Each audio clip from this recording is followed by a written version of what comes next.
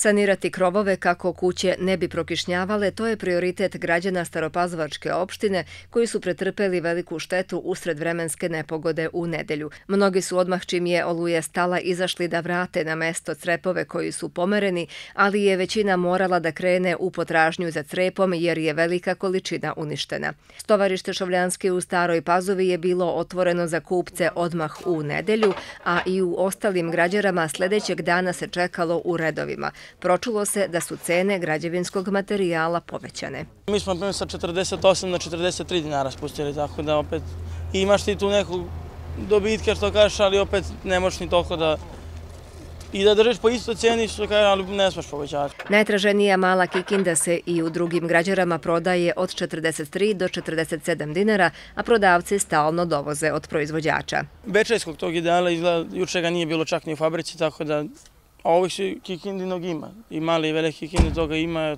Mi smo juče navukli kamion jedan i danas.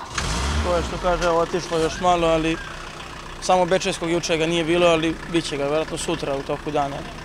Kako radio televizija Stara Pazova saznaje u fabrici Toza Marković u Kikindi, crepova ima dovoljno, bez obzira na povećenu potražnju ovih dana i ne treba očekivati nestašicu. Ljudi se snalaze, odlaze i u druga mesta kako bi nabavili neophodan materijal za popravku kuće. Kupio sam 20 crepova, 16 kapa, ali sam imao nešto svog crepa koji sam odmah taj dan morao da menjam. Tako da ne znam tačno koja, koliko šteti.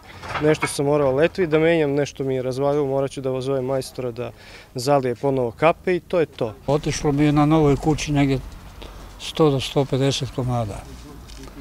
Ništa drugo što se tiče kuća inače spratnica. Ali na pomoćnim objektima je otišlo puno više. Usled prokišnjavanja krova na kući može nastati još veća šteta, tako da građani kupuju crepove onoliko koliko im je potrebno, često i ne pitajući za cenu.